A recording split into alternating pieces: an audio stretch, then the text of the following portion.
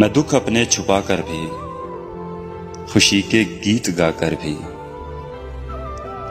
हँसी होंटों पर लाकर भी उसी को याद करता हूँ, उसे इतना बता।